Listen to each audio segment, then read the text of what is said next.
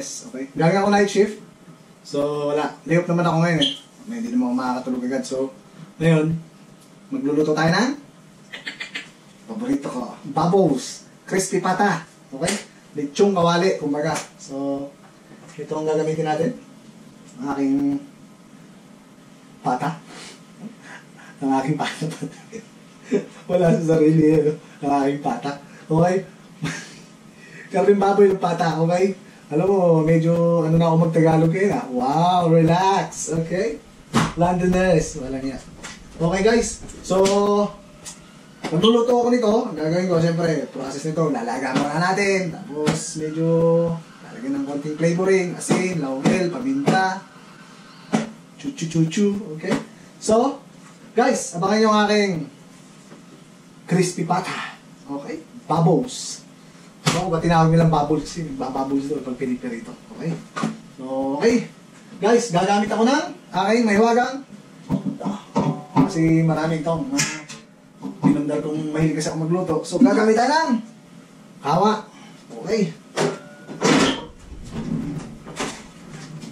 Kawa.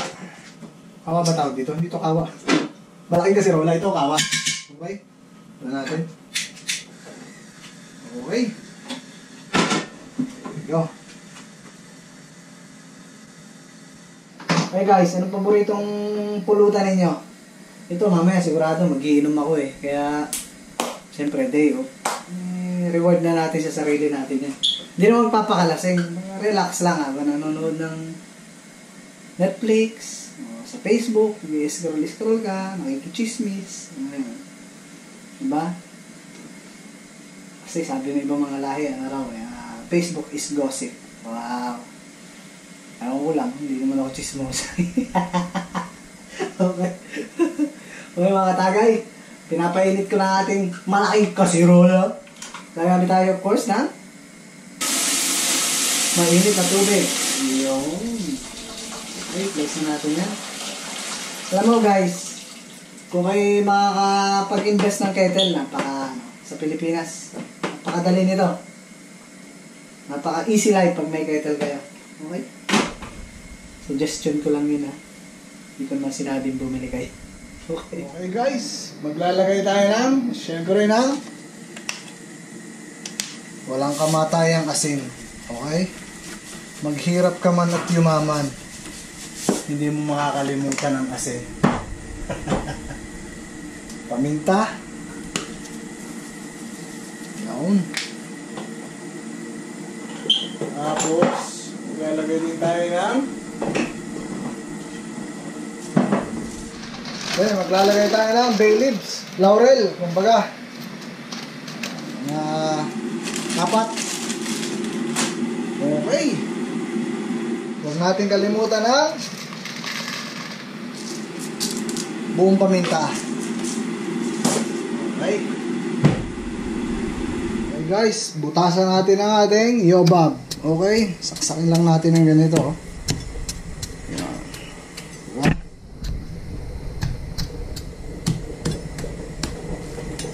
Tad. Pasok ba ang lasa? Okay. Ingat lang sa pagsaksak ha. Tamaan yung kamay ninyo eh. Ma-injured kayo eh. Okay, laging doble ingat mga tropa, okay? Doble ingat lagi. Yan. Yun. Okay, dagdagan pa natin ng tubig. Ayos. Okay, place na natin ang ating yobab. Ating pata. Yung. Walang nga. Matindi yung pamintang yon. Hindi yan COVID ah. Okay, takloban naman natin. So, pakukulan natin siguro mga, let's say, mga 1 hour. Okay? Masarap yung malambot na malambot eh. Saka mo siya pipirituhin. Okay guys, see ya!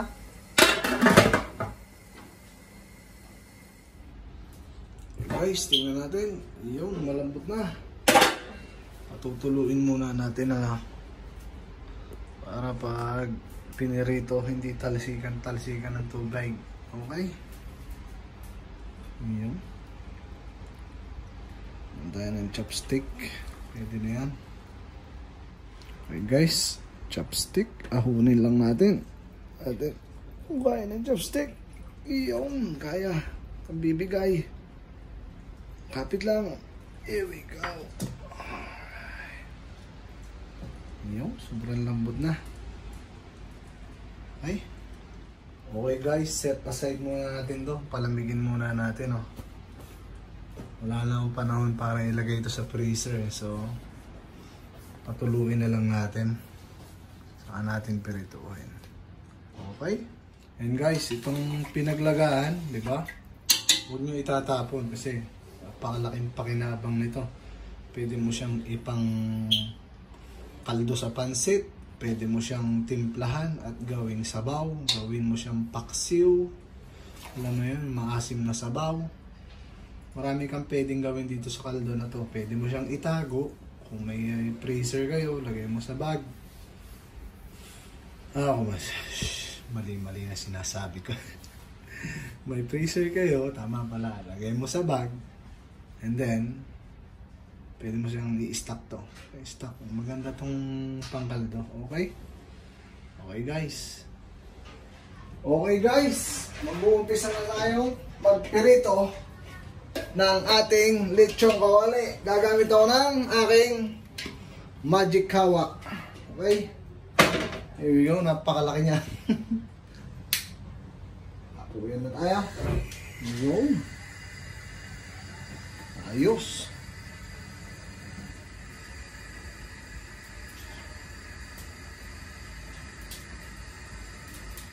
Yo, shout out sa aking meses. Itong malaking kawang ito ay bit-bit na nga. Ito ay siguro ay ano na, uh, mag-aanim na taon na. Ito ay bit-bit ng aking meses. Galing pang Pilipinas. Kaya salamat meses. Ang aking meses ay full support yan eh. Pagdating sa akin pagluluto. Okay, sali natin langis. Ang ba tayo nagkakwentuhan? Mas maraming langis, mas maganda. Ano? Ang aking meses, talagang laging nakasuporta sa akin. Sa anumang bagay, sa pagluluto. Mahilig din magluto ang misis ko. Actually, kaya pumayat ako eh, dahil sa aking meses. Talagang siya ang nagpursige na ako ay maging healthy. Love you, meses. Okay? Actually, wala pa akong masyadong tulong kasi may nag-drill dito sa bahay. So, ang gagawin ko, dumaling kasi yung asawa ko, dumating na. So, sabi ko, tinanong ko, kumain na siya. Sabi ko kasi pag nagluto ka, kumain ka na sa labas. Hindi naman kumain. So, ang gagawin ko, tama-tama. Sabi ko, lulutuin ko na yung aking bubbles crispy pata. Okay? Maraming maraming salamat sa inyong suporta mga kapulutan. Thank you so much. Sana ano, um, lagi niyong panoorin yung video ko. Maraming salamat. Ay, oh, habang tayo nagpapainit ng mantika, kita niyo ba yung aking pinalambot na pata ng baboy? Oh. Ay talaga namang napakalambot eh. Humihiwalay na sa buto kaya mas maganda talaga slow cook, no? So sabi ko kanina isang oras lang pero nung naalala ko nung nagluluto sa Pilipinas yung aking kuya, si Kuya Rique. Shout out kuya! Yun, ito yung pag tuwing birthday na ni ano eh, talagang si kuya ay sa kahit sa birthday yan, siyang tumitira ng lechong kawali. Si Kuya Ricky, talagang napakahusay din magluto. Paboritong paborito ko rin yung sarsyadong isda ni Kuya Ricky eh. Next time kuya, pag uwi ko, sa akin tokot baboy mo, eh, talagang napakainam, nakakamiss kayo. Okay? So, pag yun nangangalas na sa buto, yun, mas mainam. Talagang, ay oh, di na ako makahintay. Okay? Lapang na, lapang mamaya. Yun mga kapulutan! Kinig nyo kayong mantika. Bagay ganyan ang tunog ng mantika, ibig sabihin ay bago pala ang umiinit. Ano? Hindi pa masyadong mahina. Ah, ma... hindi pa humihina. Pag ganyan ibig sabihin, eh, yun. Pag tumahimik na yan, wala na yung nalagitik-lagitik na yan. Yan, mainit na yan. Okay?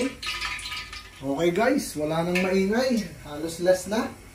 Lagyan na natin itong ating pipirituhin. Okay, be careful lang guys ha, tuwing kung magpipirito kayo. Okay. Yun.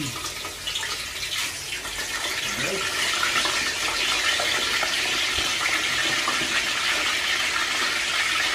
Okay guys, hindi na natin kailangan ng pampabigat kasi marami tayong mantika nila guys. So, okay naman siya. Takluban na lang natin muna. Hmm. Iwas tilamsik. Okay. Check muna, check. Yun. Ayos. Okay ba? Huwag kalaksan yung apoy guys ha, para medyo ano ba siya. Hindi ba bigla? Kasi pangit din kasi ang lechong kawaling bigla ba yung ano, alam mo yun? Maganda yung medyo hinaan nyo lang ng konti yung apoy. Okay? Hindi namang mahinang mahina. Kumbaga, huwag yung masyadong malakas para hindi bigla yung pagkapirito niya. Kumbaga, parang kumbaga sa yung tawag mo nito parang yung pag mangungursanada ka ba binigla mo ba? Baka lumaban eh. Okay takluban ulit natin. Makikita nyo resulta mamaya ng aking uh, crispy bata bubbles okay? Kita nyo naman nabubbles oh. My god Okay guys, habang naghihintay tayo ng ating pinipirito, magagawa muna tayo ng ating sausawan. Okay? Simple. Gagamit lang tayo ng lemon at sibuyas. Yun lang yun. Walang kalamansi din eh. Okay? Hindi ako bumili ng um, kalamansi na pinigado. At ubod ng mahal. Mag-lemon na lang. Napakamura pa. Okay?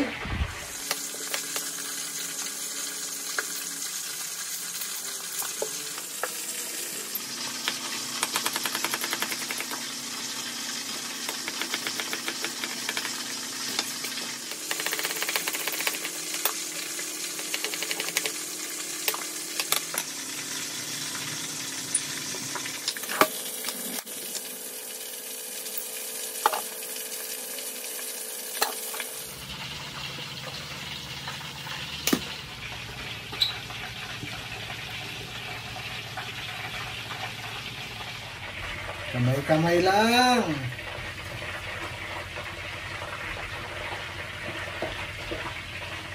Okay, gawa naman tayo ng suka. Sausawan. Garlic paste. Asin. Suka.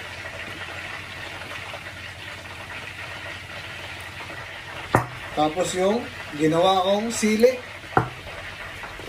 Okay. Baka tayo ng dalawa. Hindi ko pipisain para sa akin lang to. Gawa ng meses ko ay hindi nakain ng maanghang. Nakain siya pero bawal. Okay. Shake it lang. Lovely. Hmm. Woo, sarap. Okay guys, babalik ka rin na natin.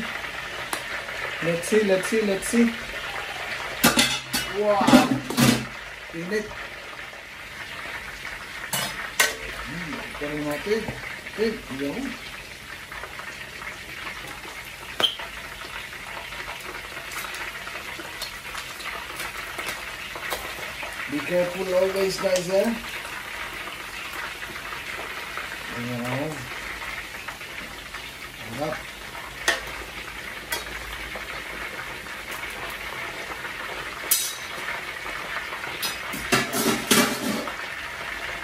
Okay guys, luban muli natin. Ayan. Okay, baliktad na tayo, baliktad. Natin, iyon. Oh my God. That.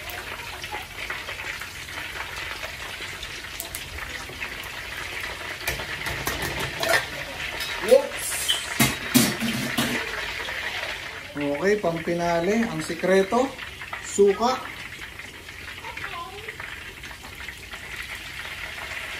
Ayan. Imbes na tubig ay ilagay, suka po ilagay natin. Yan.